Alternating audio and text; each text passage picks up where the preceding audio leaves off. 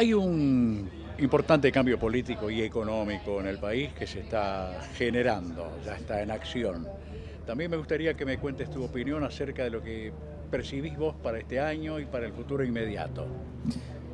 Eh, bueno, a ver, es una.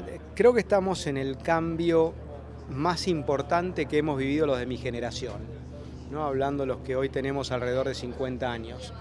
Nosotros nacimos con el fin de la dictadura, Vimos el principio de la democracia, quizás cuando digo lo más importante, bueno, el principio de la democracia es más importante, pero realmente el sacudón que está pegando el gobierno de, Javier Milei eh, es importante.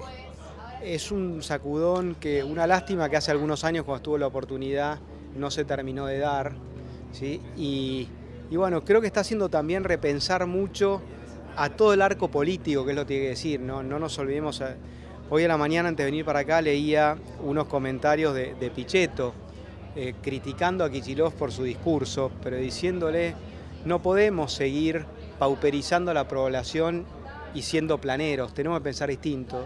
Realmente celebro eso.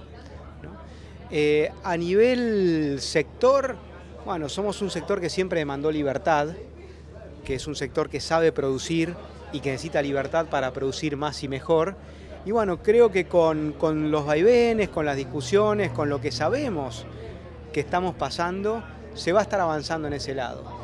Y bueno, y por último, yo creo que tenemos que ser todos conscientes que van a venir unos tiempos difíciles y como empresarios tenemos que estar preparados a acompañar si queremos un cambio.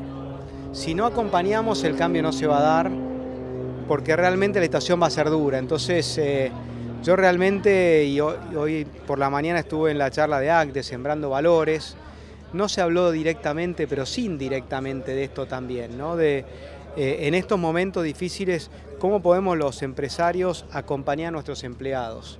¿Sí? Para que, bueno, la regularización de la mentira en la que vivió Argentina, eh, el boleto de colectivo hoy a 300 pesos sigue siendo el más barato del mundo, lejos pero hay que entender que para el bolsillo de una empleada doméstica o para el bolsillo de un trabajador rural o de un trabajador administrativo, esos 300 pesos son muy altos.